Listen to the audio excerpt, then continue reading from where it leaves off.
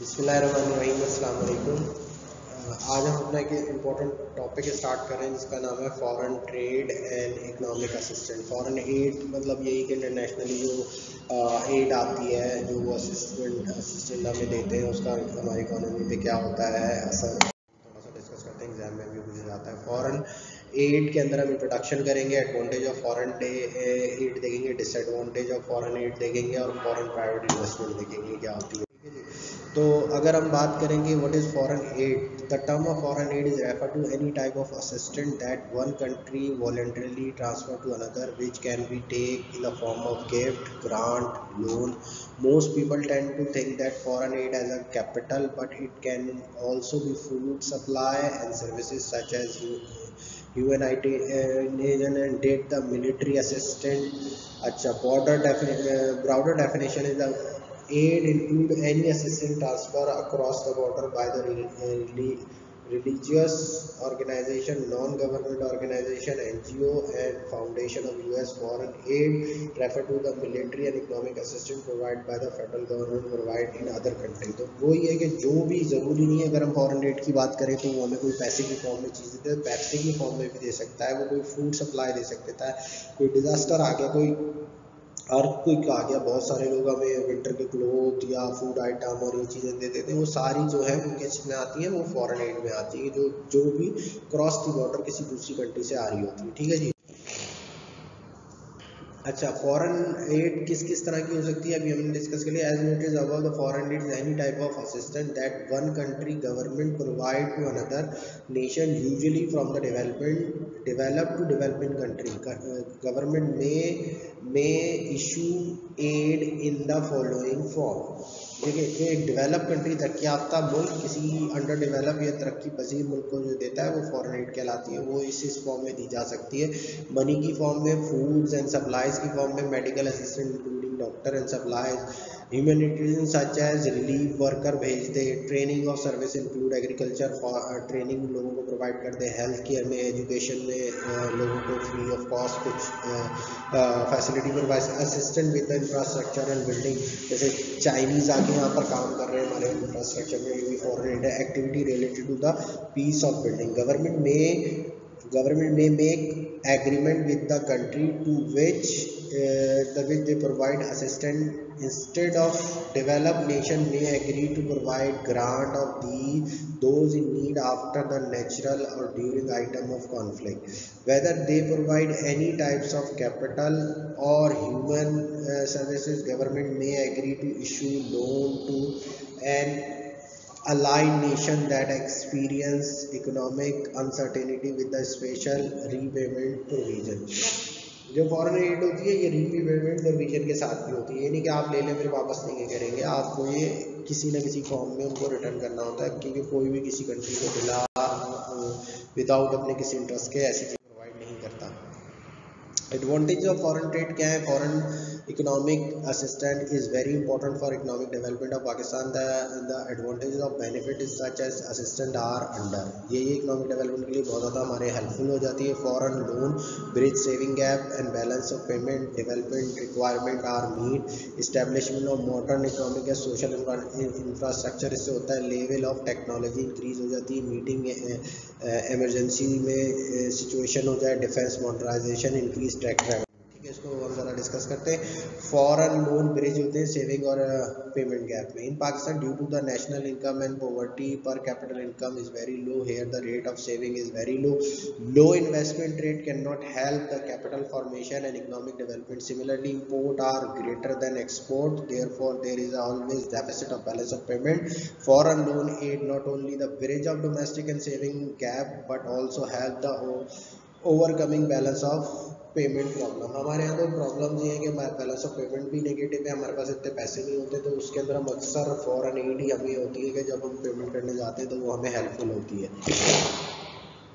Development requirements are met. Pakistan want to develop agriculture, industry, power, natural resources uh, of the country, but due to the lack of foreign exchange and technology could not be uh, imported. Foreign aid and loan facility of government to import the requirement of technology and basic raw material with the different sector of economy can be developed, and due to utilization of machine productivity of enhanced, and thus the productive capacity of various sector also increase हो जाते हैं ठीक है जी हमारे पास इतने पैसे नहीं होती कि हम टेक्नोलॉजी या हायर मशीनरी और स्किल्ड चीज़ें हासिल कर सकें तो ये क्योंकि हमारा ना तो टैक्स की इतना रेवेन्यू जनरेट होता है तो उसका अल्टीमेट क्या होता है उसका अल्टीमेट ये होता है कि जब हमारे पास बाहर से फॉरन एड आती है तो उसी से हम अपनी रिक्वायरमेंट्स को पूरा करते हैं ठीक है अच्छा नेक्स्ट देखते हैं establish the modern economic social infrastructure economy of country can not be grow without the presence of economic infrastructure availability of gas power transport and communication similarly social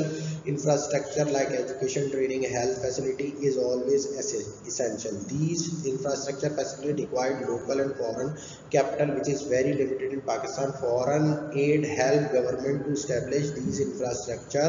when construction and other development activities are started in a country these generate employment opportunity of people ठीक है ये जितना भी infrastructure की development है education पे खर्च करना है हेल्थ सेक्टर पे खर्च करना है हमारे पास पैसे है ही नहीं पाकिस्तान एक अंडर डेवलप कंट्री है जिसके अंदर वैसे ही टैक्स रेवेन्यू जो गवर्नमेंट के पास जनरेट नहीं होता और अगर जनरेट होता हुआ तो वो करप्शन की नज़र हो जाता है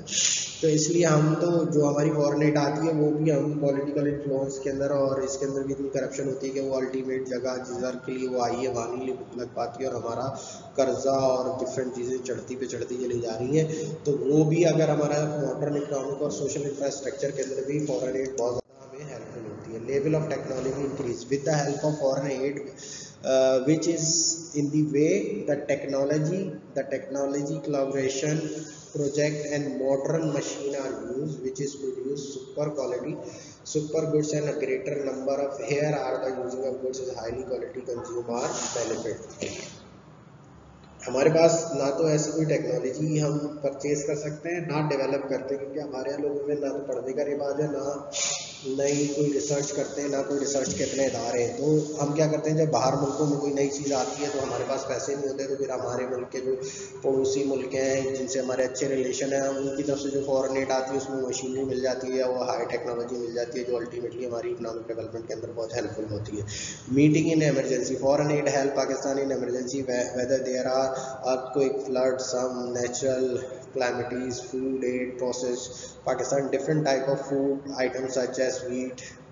dry milk and so on चीज़ें जब भी कोई कोई आता है जलजला आता है या और बहुत सारे हमारे यहाँ ब्लास्ट हो जाते हैं तो उसके अंदर क्या होता है कि फॉरन एड आ जाती है हमें और हम उसी का वेट कर रहे थे ताकि वो वो जो एमरजेंसी की सिचुएशन है उससे हम निकल सकें और हम इकोनॉमी को स्टेबल कर सकें तो इसके लिए भी हम कम्प्लीटली डिपेंडर होते हैं कि हमारे जो लोग हैं जो हमें फॉरन एड दे रहे हैं वो हम चीज़ें प्रोवाइड करें अच्छा defence modernisation Pakistan want to modernise defence capability which can only possible provide foreign aid is available foreign fighter plan F sixteen and other modern warfare technology can be only be secured with the help of foreign aid and loan pakistan do not have sufficient foreign exchange to finance this crucial requirement of the country हमारे पास वो यही कह रहे हैं कि भाई इतने पैसे नहीं है कि हम इतने महंगे महंगे जर्ट्स ले सकें और वॉर इक्विपमेंट ले सके तो वो हम क्या होता है नॉर्मली या तो हमें फॉरेन एड में मिल जाते हैं या फिर उनके हम कुछ काम कर देते हैं वो हमें दे देते हैं तो इसी तरह से हमारी इकोनॉमी और नेशनल डिफेंस चल रहा है तो अगर नेशनल डिफेंस में हमारे फॉरन एड ना हो तो शायद हमारा नेशनल डिफेंस जो है वो अकॉर्डिंग टू दिस इतना स्ट्रॉन्ग ना हो increase in tax revenue when the foreign loan when the foreign loan is utilise establish and industry social over heated and the economic activity grow Goods and services are produced, foreign trade is increased, all the factor increase of government income through the different tax source. जब फॉरन add आती है तो उससे हमारी economic development के process शुरू हो जाते हैं इंफ्रास्ट्रक्चर का काम होना किसी इंडस्ट्रीज के अंदर काम शुरू होना तो उसका अल्टीमेटली क्या होता है लोगों को एम्प्लॉयमेंट मिलता है लोगों को एम्प्लॉयमेंट होता है इनकम जनरेट होती है इनकम जनरेट होती है तो गवर्नमेंट उस इनकम पे टैक्स लेती है जो गुड्स एंड सर्विसेज बन रही होती है गवर्नमेंट उस गुड्स एंड सर्विसेज पे टैक्स लगाती है तो फॉरन एड से टैक्स रेवेन्यू गवर्नमेंट के लिए बढ़ जाता है जहाँ पर इसके बहुत सारे एडवांटेजेस हैं तो डेफिनेटली इसके डिसएडवांटेजेस भी हैं डिसएडवांटेजेस ऑफ फॉरेन ट्रेड क्या है foreign trade foreign economic assistant and foreign aid result the following disadvantage increase the foreign aid dept servicing increase the production cost uh, habit to dependency of foreign loan and misuse of it exploitation of donor country commodity aid discourage the domestic agriculture product dependency of import raw material for the donor country project tied loan for less priority projects saving investment balance of the payment gap Pro uh, proportion of tied aid and se severity or hard term is increased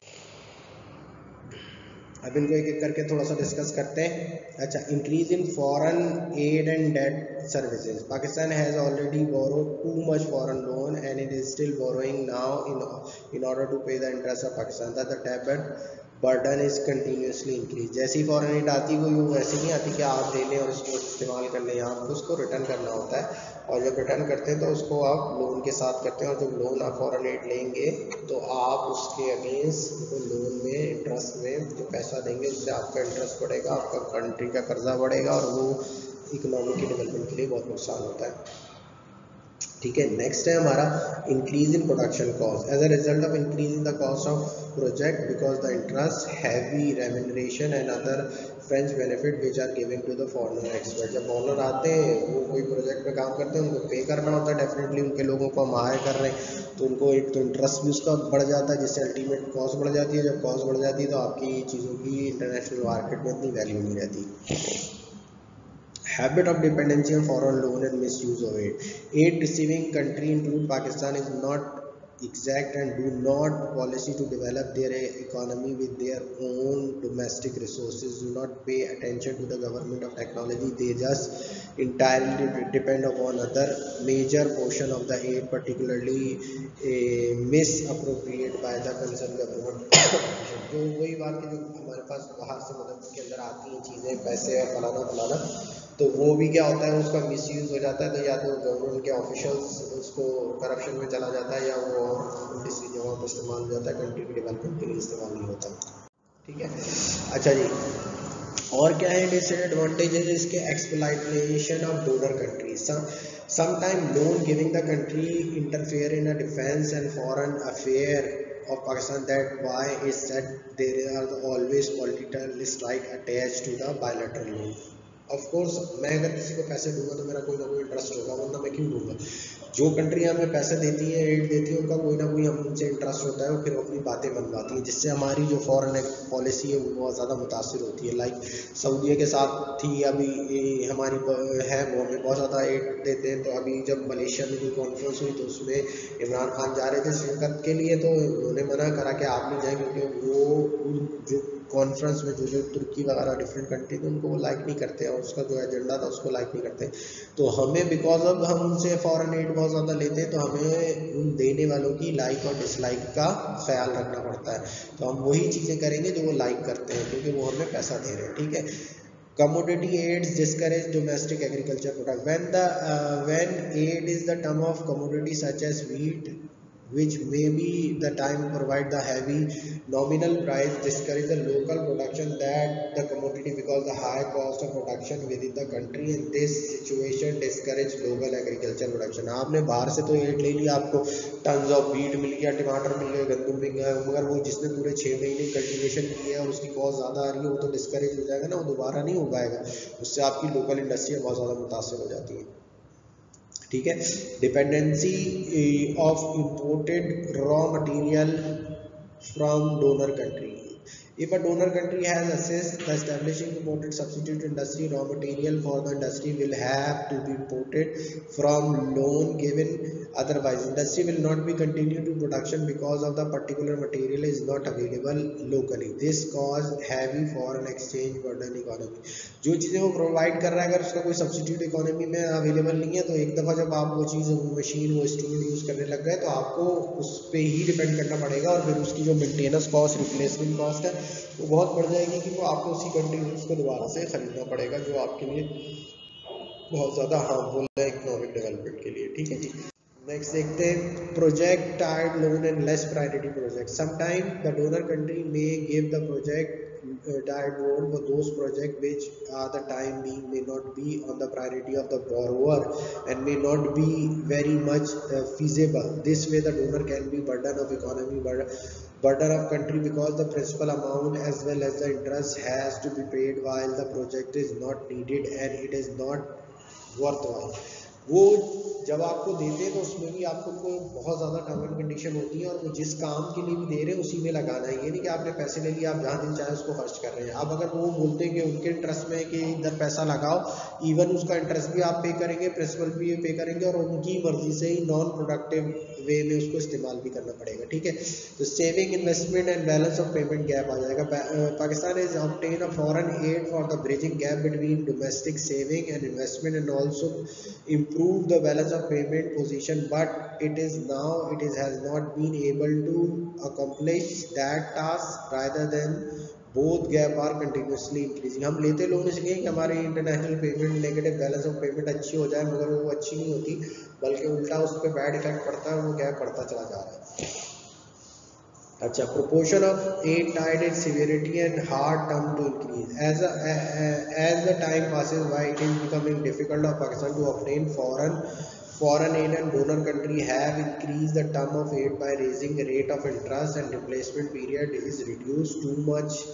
Uh, sureties and guarantees demanded from Pakistan by donor country अब जो है उनका rate of interest भी क्योंकि हमारी credibility government का political जो है हमारे यहाँ क्या नहीं है स्टेबिलिटी नहीं है तो गवर्नमेंट इतनी जल्दी चेंज होती है तो दोनों ने कंट्रियाँ लेने वाले वो भी हम पर इतना ट्रस्ट नहीं करते और अगर ट्रस्ट करते हैं तो बहुत ज़्यादा गारंटियाँ मांगते हैं और गारंटियाँ मांगने के बाद भी जो देते हैं वो हाई इंटरेस्ट रेट पे देते हैं जिसकी वजह से हमारी जो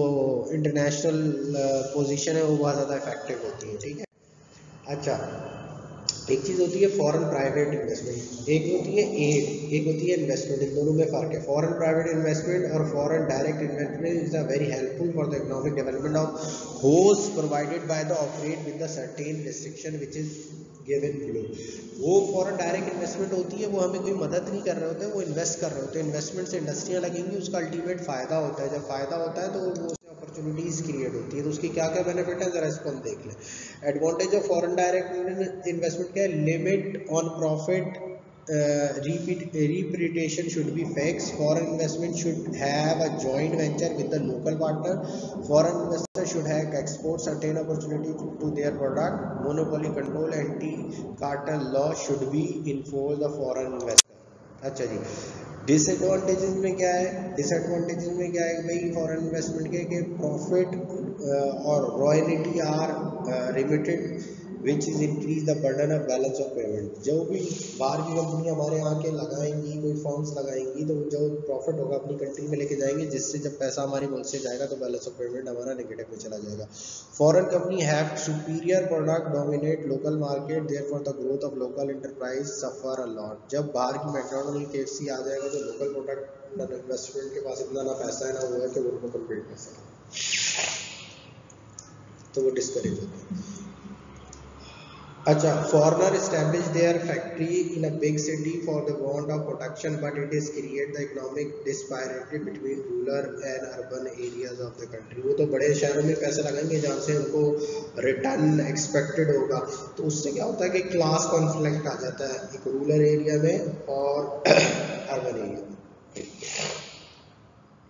Foreign, uh, foreigner develop friendship with the political and bureaucrats. They provide uh, respectable job to their sons and relative and use the economic power to influence government policy of their advantage वही कि जो जितने political लोग हैं उनके बच्चों को ये लोग जॉब प्रोवाइड करती हैं बाहर की कंपनियां और फिर उनसे असेंबलियों में ऐसे लॉ पास कराती हैं जो उनकी फेवर में हो जो ना कि जो कंट्री की फेवर में हो ठीक है जी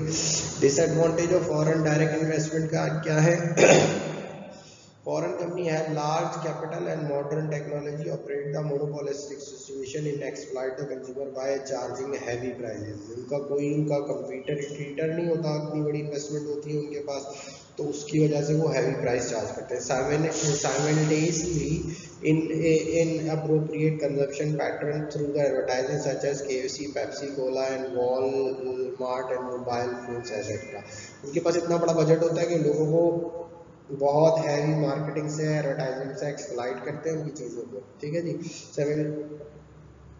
अच्छा उसके बाद क्या कह रहा है foreign private investment increase the foreign exchange liability on the imported raw material जितनी फॉरेन प्राइवेट इन्वेस्टमेंट होगी वो बाहर से मटेरियल लाएंगे और उसका अल्टीमेट इफेक्ट क्या होगा अगर ये मैकडोनल्ड वाले हैं तो उनकी चीज़ भी सब बाहर से आती है जब बाहर से आती है अल्टीमेटली जो तो यहाँ से कमाते हैं उसी से वो उसकी पेमेंट करते हैं जब उसी से वो उसकी पेमेंट करते हैं तो हमारा बहुत ज़्यादा एक्सचेंज फॉरन एक्सचेंज वहाँ चला जाता है जिससे हमारा बैलेंस ऑफ पेमेंट मजीद नेगेटिव होता है ठीक है ये दोनों टॉपिक फॉरेन ट्रेड और फॉरेन इन्वेस्टमेंट वाला बहुत ज़्यादा इंपॉर्टेंट है तो और इसी में से आपके एग्जाम के क्वेश्चन बनते हैं एटलीस्ट आपको हेडिंग याद होनी चाहिए क्वेश्चन अटैम्प्ट करना आना चाहिए किस तरह से ज़रूरी नहीं है डायरेक्ट एग्जैक्ट सेम वर्ड में पूछे मगर जो बात पूछेगा वो इसी टॉपिक में से रिलेटेड होगी तो आप उनको रिलेवेंट करके उसका आंसर दे सकते हैं ठीक है इस लेक्चर में इतना ही थैंक यू सो मच